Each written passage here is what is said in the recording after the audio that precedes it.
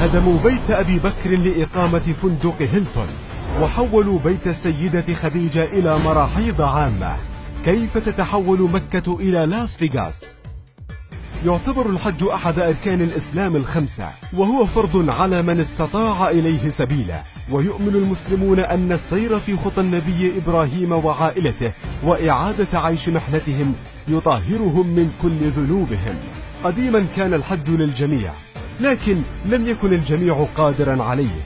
فقبل منتصف الخمسينيات كان عدد الحجاج في الخارج نادرا ما يتجاوز المئة ألف. أما اليوم وبفضل التطور الكبير بوسائل النقل الحديثة والتوسعات المتواصلة التي تنفذها الحكومة السعودية تستوعب مكة عدد حجاج يصل لثلاثة ملايين.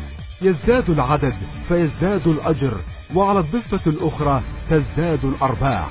قديما كان الجميع سواسية باللباس والمأكل ومشقة الرحلة. أما اليوم فهناك حج خمس نجوم لا داعي للمشقة فكل شيء تحت الخدمة.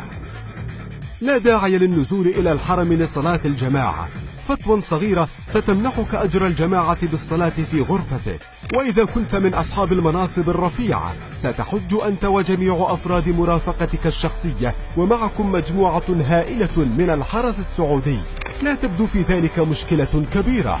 فالقادة يحتاجون لحماية ومن حق الأغنياء التمتع بأموالهم. المشكلة الكبيرة تكمن في أن مكة لم تعد مكة التي عرفها جده. 95% من آثار المدينة المقدسة تمت إزالتها تماما خلال العقدين الماضيين. بيت السيدة خديجة هدم وبني فوقه 1400 من المراحيض العامة والمواضع. بيت أبي بكر الصديق حل محله فندق هيلتون. قلعة أجياد التاريخية المصنفة في تراث اليونسكو.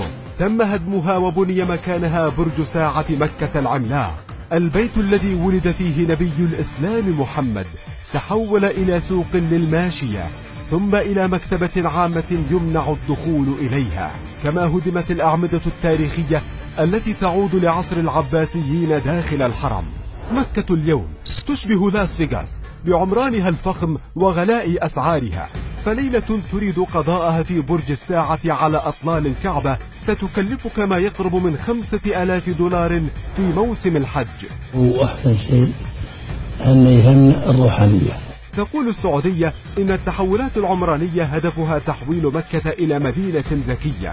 وبينما يدور في ذهنك سؤال منطقي يتمحور حول علاقة الذكاء بهدم التراث سنكتشف شيئا مهما بل شيئا خطيرا.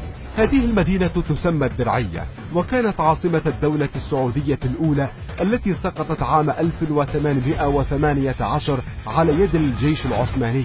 تقوم الدولة السعودية اليوم بإعادة ترميم تراث هذه المدينة وبذكاء ووفقا لمقررات اليونسكو.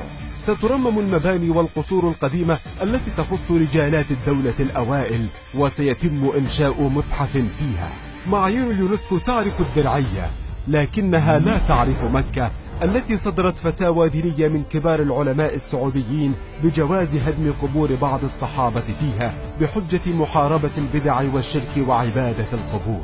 معايير اليونسكو وتحذيراتها وغضب تركيا لم يمنع السعودية من هدم قلعة أجياد التي تعود للتراث العثماني.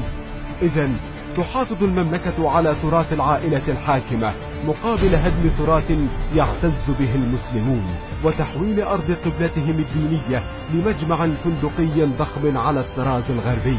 تكاد معه الكعبة المقدسة تختفي بين الأبنية الشاهقة. يقول المثل العربي الشهير أهل مكة أدرى بشعابها. أدرى بها إن بقيت هذه الشعاب أصلاً.